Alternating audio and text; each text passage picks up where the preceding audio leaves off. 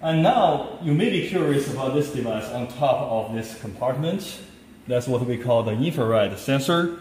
On this device, you have the sensor to read all the vital signs like the heartbeats, the BPMs, and the breathing, breathing beats like this. The breathing rhythms are going to be displayed and you can view it on the television, which we have the power tool to accept over 60 devices in one hospital.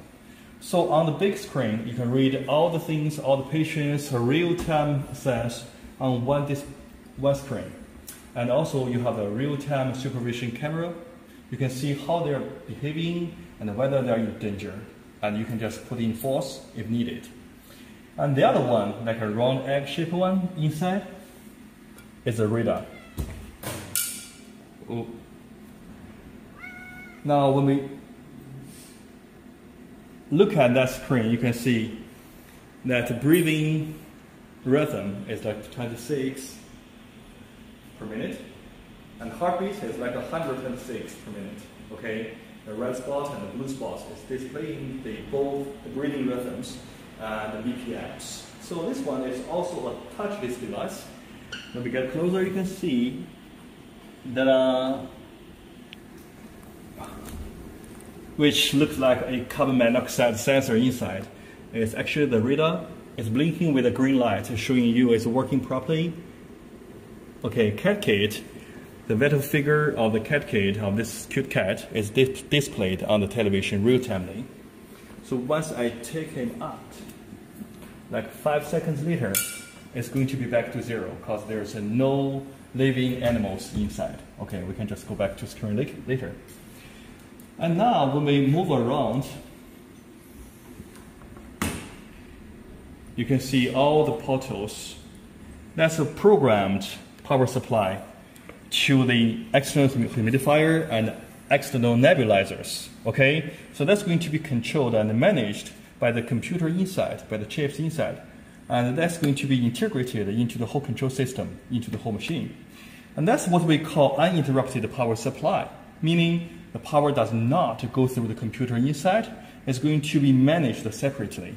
If you have the sign monitors, you have other like infusion pumps or something like that, you can power in and that's not going to be affected by the whole machinery. And that's the portal for the transfusion lines to go into the compartment without leaking the precious oxygen.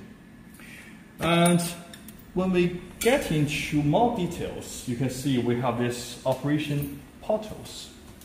When you have the animals inside, you can stretch and put your arms inside to do all the actual operations without leaking, without having the risk of the animal escaping from you.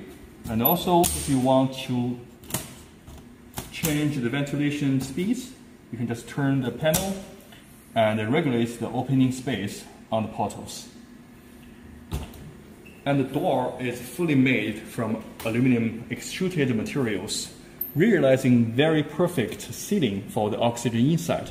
No leaking and all the rubber strips is playing a very important role for sealing oxygens inside all day long.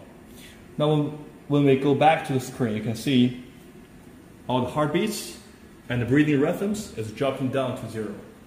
Telling you once the animal is removed, it's really nothing, right?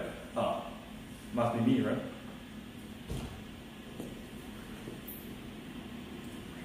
Okay, and when we look more closely into all the internal components, we have these two heaters placed on both corners of the internal compartment.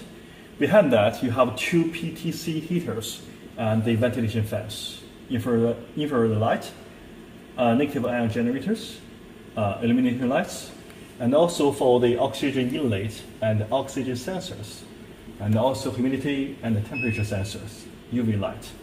All the things are made in the modular way, easy to remove and easy to replace. So it's going to reduce your fatigue and labor cost in the future for the potential repair and replacement, also for the up upgrading purpose.